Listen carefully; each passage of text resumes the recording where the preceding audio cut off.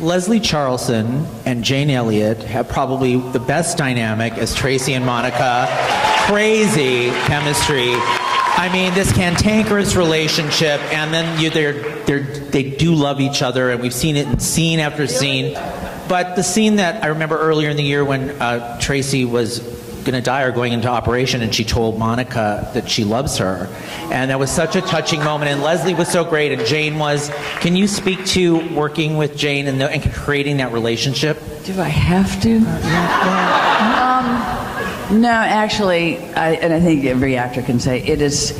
It's wonderful when you get to work with um, someone not only that you like, but that's really good.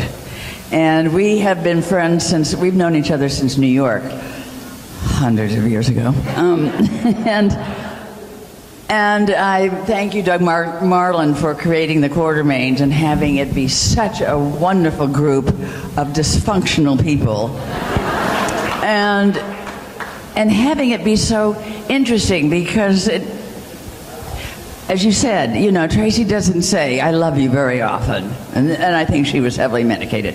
But anyway, it has been a wonderful, wonderful ride working with her. I look forward to it all the time. It's wonderful to really bitch at somebody that you like, and we try to top each other, and then we don't speak for a while. You don't talk to each other. Yeah. Your first day on the set, you come to this iconic show, General Hospital. It's been on 53 years.